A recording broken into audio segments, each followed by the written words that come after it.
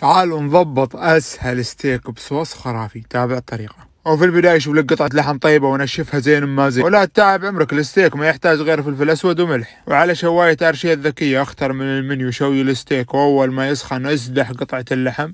ولحف الستيك عن البرد وخله ياخذ له تحميرة عالمية. وأهم شيء إنك تحطه في الألمنيوم عشان ما تخسر العصارة لمدة عشر دقائق. وركز على الصوص الخرافي كزبرة ونعناع وكزبرة حب وأوريجانو وفصين من الثوم.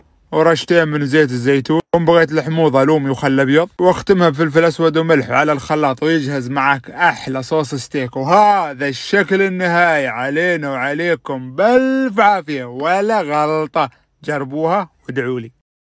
تعالوا نضبط أحلى معكرونه بالبشاميل بس بالتونة. تابع الطريقة وفي البداية نجهز معكرونتنا وما لك غير معكرونه العلالي الايطالي ورشة من الملح. وعلى طول على مقلاة صغر نذهب حشوتنا وننزل البصل ونحمسه. وضروري الثوم لا تنسى الفلفل الرومي. ولا تنسى البهارات فلفل أسود وبابريكا وكزبرة. وشوف لك حبة طماط أعصرها وطلع لها روحها. وان بغيت الزين يكمل عليك بمعجون الطماط من العلالي. وهنا سر اللعبة اليوم تونة العلالي والوضع. يخليك في العلالي وبكذا تكون جاهزة.